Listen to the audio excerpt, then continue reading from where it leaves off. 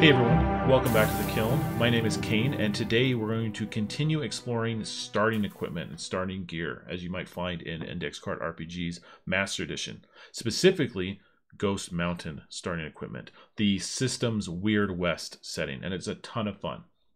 Now, when ICRPG was updated to Master Edition, some of the formatting changes that you might see in Alfheim, the fantasy setting, or Warp Shell, the sci-fi setting, didn't quite make it to Ghost Mountain. So we still have some setups very similar to what was in second edition for core, which is why I have this list here of starting equipment choosing E3 as well as the art from the gear.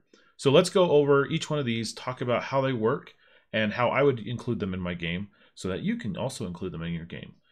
So let's go, let's start over here with the starting equipment specifically because they're starting equipment and they kind of have some of the weapons and gear. So in Ghost Mountain, you get to choose any of the three. You can choose from the starting equipment in Alfheim as well, and for these additional options to give your character more Ghost Mountain flavor. So you can kind of mix and match, which is just kind of standard for ICRPG. Mix and match to your heart's content. Now, specifically, let's start out with the very first one, Fire Water. You get eight sips, pass out for 1d4 rounds. Why on earth would you take that as a piece of starting equipment? I don't know. Maybe you do want to pass out for 1d4 rounds. It's nasty stuff, Viper Venom mixed with Monkey Juice. Uh, again, this is something that if you were to take, it's probably going to be useful to use against others. Use them against uh, the Dire Gang. Do whatever. Um, again, it's a create. It's a creative item that players will find a creative use for if they were to take it. Which is some of the times some of the best equipment is that kind of thing. It's not always about optimizing or finding the best combos. It's about taking something that forces you to be a little bit more creative. Next up is our ammo pouch. It has a 24 capacity, and without one of these, you'll be lucky to keep six shots dry. It has 24 capacity because in Ghost Mountain, part of the fun of it is actually counting bullets. Because you get into a gunfight, you get into a, a little scuffle with the Dire Gang or, or whatever, and actually counting bullets can become a point of tension for the game. And so this one allows you to have a 24 capacity, has 24 rounds for whatever what I really like when it comes to reloading weapons in Ghost Mountain is that essentially it's not fire then reload, fire then reload. You just you have your capacity. You can continue firing every round as you wish, unless it's stated otherwise, and we'll get to that when we're looking over at some of these guns over here. But then once you're out, you just essentially spend a turn reloading, and I would just make it an action. Some people don't make it an action; it's just kind of a passive action. So if you have six rounds, you run it down, you will spend a turn and then you're back to back to full. It kind of happens on the side. But again, depends on how you want to run it.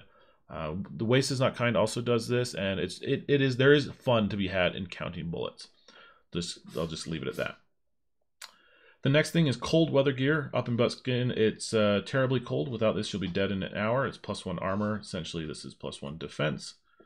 That's just a residual from core, so it's defense.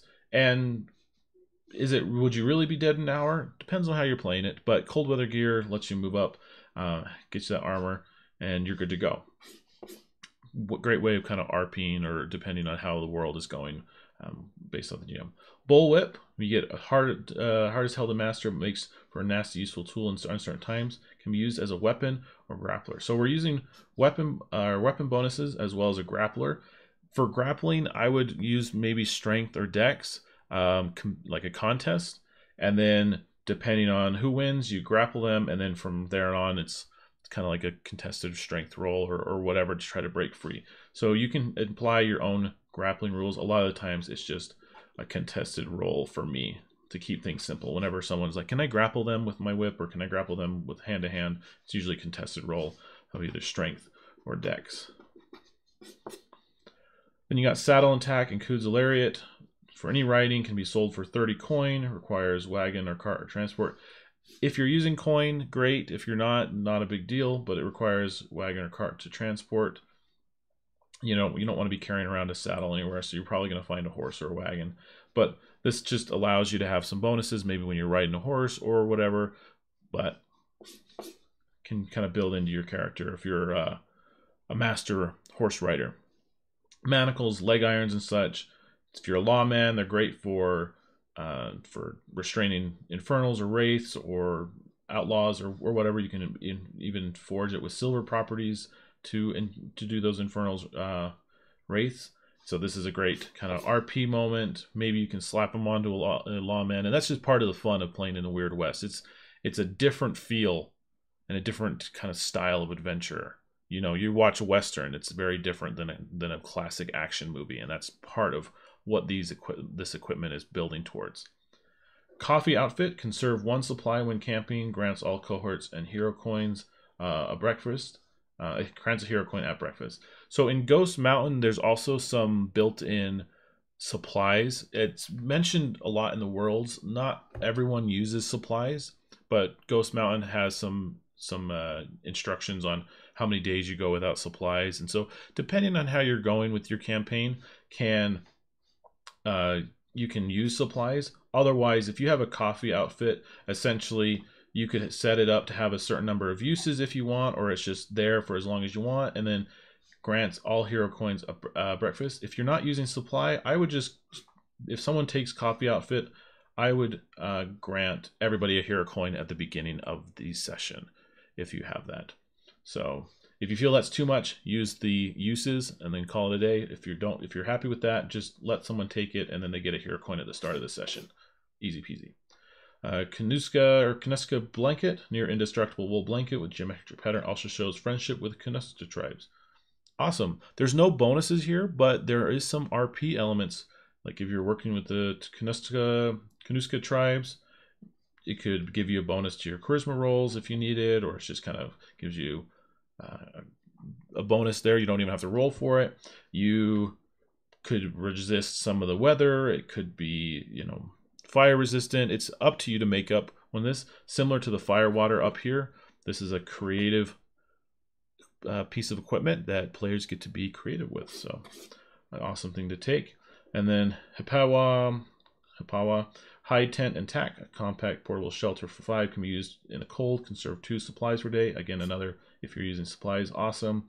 Requires wagon or cart to transport, includes rope, iron, spikes, and cooking gear. So if you're having more of this ongoing survival or traveling through Ghost Mountain, uh, using supplies, this can play into it where players can have some extra bonuses as they they work through things uh, and travel, or this could be potentially just something that makes them easier. So maybe instead of recovering the 1d4 plus, you know, 1d4 plus 1 when they're resting at night or at the end of the scene, maybe they can stop for the night and they can rest back to full.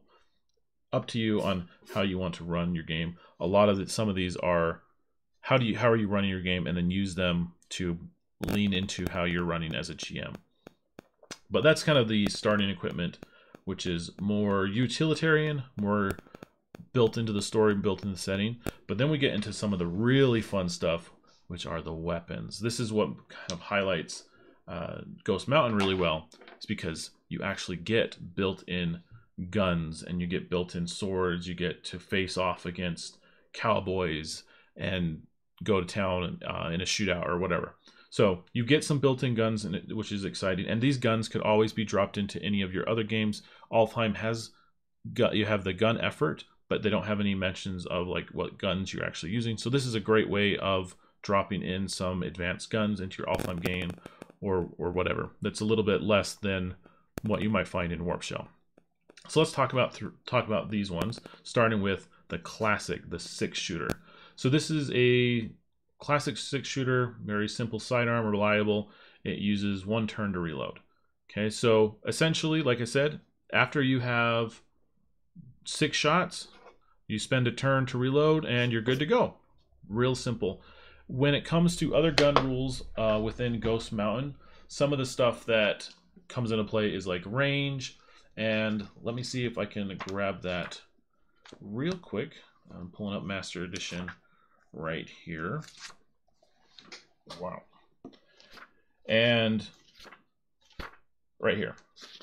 So some of the guns rules that if you're going to play into them is this is on page 239 of Master Edition. You've got big slugs, so any attempt of a 15 plus does maximum. So if you roll 15 plus on your d20 roll, you do maximum damage, which is probably going to be that d8 plus your bonus, so 8 plus your bonus. Uh, in the face, any hit at point blank range does maximum damage. Again, if you're up real close and you just hit them, no matter what, uh, you get to do point blank range. And this is for any weapon. This one specifically for big slugs. So a six shooter probably does not have big slugs. Knock silly, anytime you're hit by a firearm for three or more damage, roll con to avoid losing one turn. Uh, you could use, you know, if you're really feeling hard about losing a full turn, you could make it say choose between movement or an action. If you if you're if you're not silly, you can move or you can act, but not both. If you fail that con roll. Strict ammo, six bullets count as one supply. You've got the supply rules down here. I'm not going to go over those. Um, then you've got primitive barrels, pistols. So our six shooter can only hit near targets unless you roll a natural 20. So our six shooter can only hit near unless you hit that natural. So no far shots. Maybe you could do a far shot. You could ignore that and make it turn into like a hard roll if you want to hit far. Uh, duds, wet ammo has a 50% chance of being ruined, which we'll only find out when firing. So if you've been out in the rain, roll a percentile die. It's 50% chance if um, there. Pouches keep the ammo dry. So that's a reason to take that ammo pouch. And then right in the eye, any gunshot, aim for the vitals with a hard roll. So if you want to aim for the vitals, you roll hard. If a hit, do not roll damage. Target makes a con roll or is dropped to 1 HP. So this is a great way to drop a lot of people, um, a lot, a lot of enemies. And so this this kind of highlights again that Ghost Mountain is like when it comes to a gunfight, they are meant to be big, bad, and scary and and terribly lethal. So if you want to play with any of these rules, you can get into a gunfight and it goes pretty quick. It's not about a slog of how quickly can we drain a pool of HP. It's like no, it's like bang, bang, bang, bang, bang. It's over. But yeah, so that's our six shooter really classic reliable. Probably if you're using the reliable tag, probably doesn't break. Whew, long story for that one. But let's move on to another one. One of my favorites. Uh, just classic. It's just iconic. The carbine rifle. So this is lever action, eight capacity. Does it mean anything for lever action? Not really, but it's fun. And it's eight capacity, so you got eight shots, and then I would still have a round to reload. This one I would also say, because it's a carbine, you could hit far with this without having to have extra rolls. Then you've got the shotgun down here. Nasty, clumsy weapon, close quarters, two capacity, so you only got two shots down here, and it's a one turn to reload. Similar to the pistol, similar to the carbine, just spend a turn, reload, you're good to go. Now this is still using gun effort, it's it's not getting any extra bonuses from there, but Maybe if they're close, you're going to have a lot more impact. Maybe you could push it up to ultimate if you're feeling it, if you roll high enough. Who knows? It's just you're still rolling gun effort, um, and you got that two capacity. Then you've got the snub shotgun. So it's scatter shots. It's a two capacity similar to this shotgun, but it hits any and all close targets in front of you and firing. So it blasts out. So, but you have got to be close. You've got to be up close and personal with those uh, before it takes into effect, which could be fun. Let them come into the into the saloon and like bang, take them out. All right, moving away from some of the guns, we'll get back to these other ones. But then we've got our compound bow over here. This adds strength to damage. So essentially, you're going to be rolling. I would be rolling weapon here, but then you get plus your strength. So not to your attempt, you're used you're still you're probably using dex to shoot so that's your attempt but then your damage is a weapon bonus so a d6 plus your bonus plus your strength bonus. So this is d6 if you had a plus one to your weapon and if you had a plus two to your strength this would be d6 plus one plus two so d6 plus three. That's how it'll work. Coming back you got your bowie knife the most reliable thing on the mountain. There's no real bonuses. There's no extra damage. This would probably be doing weapon, in my opinion. But you've got a knife. It's reliable. It's probably not going to break on you. You could probably throw it. You could probably jam a door open with it. Like this is a very utilitarian. Come up with a creative way of using this Bowie knife, and you're probably going to be good to go. Next is the saber over here. It's cavalry sword. It's expensive and it's silver. So this is a another weapon. It's expensive, so you could probably get some good coin for it. Probably a tradable thing. Probably reckon that people recognize for its value, but it's also silver, which means it probably does some extra damage to wraiths and infernals. however you want to play into that. So it has this kind of extra silver property, which makes it more effective against some uh, some of the uh, darker, weirder creatures in the west. Then coming back, we've got our big boy here, our Gatling gun, the Godless Death Machine of the East, four shots per roll. So you're using gun effort, and every time you're rolling, it's probably going to be a d20 plus dex, but then you get to roll four shots. Is this against the same target? Is it against different targets? But essentially, you're rolling four shots per roll. And so what I would end up doing is you get to do 4d8 for the gun effort, and then I would split that out amongst up to four different targets. So just as you're moving across. Uh, you could put it all into one, you could put it all into two, three, four, however you want to divvy it out. But I would roll 4d6, and what I would end up doing is probably like make, you know, who you're you going to hit with your first roll? This guy, and then roll. And then who's going to be the next guy, and then roll. And then the next one, roll. Um, because it's it's for each sh shot I don't want to necessarily like roll and be like, okay, you've got, you know, whatever that is, 32, split it up however you want. You could do that if you're quick, but you could also roll really quickly and have it feel like here's a shot, here's a shot, here's a shot, here's a shot. Or just roll four d8s and then just kind of assign out the dice. This would also probably impact movement if I was carrying this around, but it doesn't say, so play it out as the GM wishes. Next up is the Demon Spine, the fencing blade used by Infernals. So this one is used by in, by Infernals, but you can now take it. So you're now playing with demon weapons, and I would probably have this one have some kind of uh, condition getting hit. Um, obviously, it's kind of cool just for a player, so you might have some extra bonuses against Infernals because it's a, it's a, an Infernal weapon.